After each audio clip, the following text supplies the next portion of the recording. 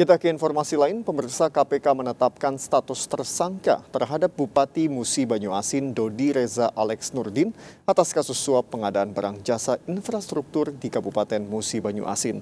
Dodi menyusul ayahnya Alex Nurdin yang lebih dahulu bermasalah dengan hukum.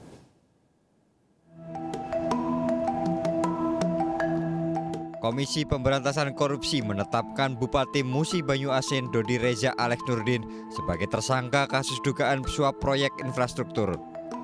Dodi merupakan anak kandung dari Gubernur Sumatera Selatan periode tahun 2008 hingga 2018 Alex Nurdin.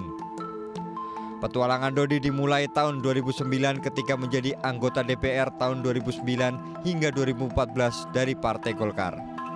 Di tahun 2017, Dodi dilantik sebagai Bupati Musi Banyuasin oleh ayahnya Alex Nurdin yang ketika itu menjabat sebagai Gubernur Sumatera Selatan.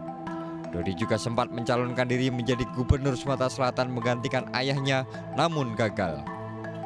Entah kebetulan atau tidak, nasib Dodi pun serupa dengan sang ayah yang lebih dahulu bersoalan dengan hukum.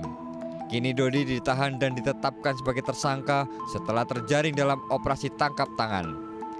Dodi diduga dijanjikan uang sebesar 2,6 miliar rupiah oleh Direktur PT Selaras Simpati Nusantara sebagai komitmen fee tender 4 proyek di Dinas PUPR Musi Banyuasin.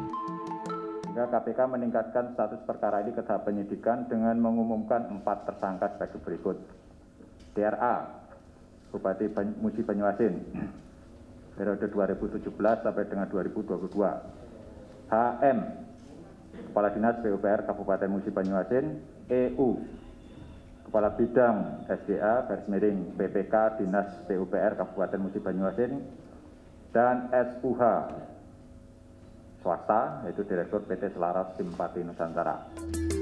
Seperti diketahui, ayah Dodi Reza yaitu Alex Nurdin telah ditetapkan terlebih dahulu sebagai tersangka dalam dua kasus dugaan korupsi yang ditangani oleh Kejaksaan Agung. Dua kasus yang menjerat Alex adalah kasus pembelian gas bumi oleh perusahaan daerah pertambangan dan energi Sumatera Selatan tahun 2010 hingga tahun 2019 dan kasus lain yaitu pembangunan Masjid Sriwijaya Palembang. Kini, Alex telah ditahan di rumah tahanan Salemba cabang Kejaksaan Agung semenjak ditetapkan sebagai tersangka.